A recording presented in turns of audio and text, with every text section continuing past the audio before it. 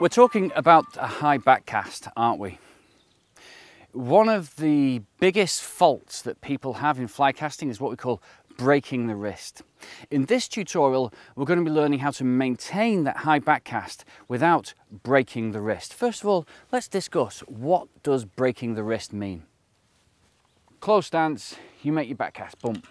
But just as the rod stops there over the back cast cone, you do this. People open their wrist. It's called breaking their wrist. The rod has now dropped horizontally and I'm going to show you exactly what that does to the cast.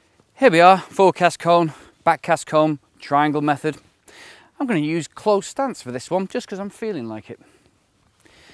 Here we are, no slack, everything's perfect. Everything's set up nicely, isn't it? There's no slack in the line. We're going to do a nice peeling, smooth lift. We're going to make a nice high back cast, but then we're going to break the wrist and see what that does. There you go. See it straight away, can't you?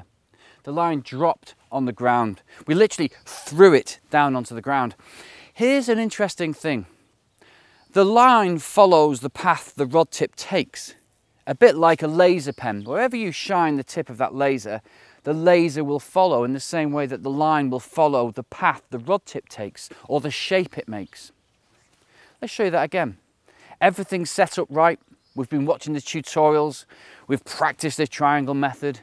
We're doing really well. And then, just at the crucial moment, we break the wrist. And everything goes wrong. It goes wrong not only on the back cast, but watch the forward cast. Break the wrist. Now look at the forward cast piled down in a sort of parachute with a massive heap of slack as well.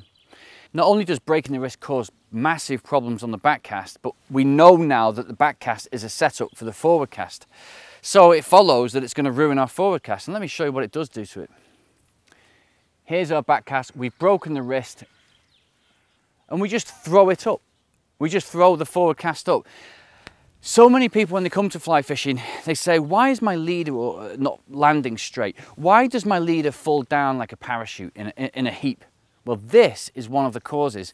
It's not the forward cast that was the issue, it was the back cast. Okay, let me show you again. Let's use open stance this time. Why? Because we can. Stop. Oh, and we've dropped and we've broken the wrist. So now we're going to throw the line up and it just piles down in a great big heap. And there's slack again. And we know we can't have slack. We can't even stop and drop correctly because the line's gone so much in the air when we stop and drop, it just lands in a squiggle. So breaking the wrist not only gives us problems on the back cast, but it gives us problems on the forward cast.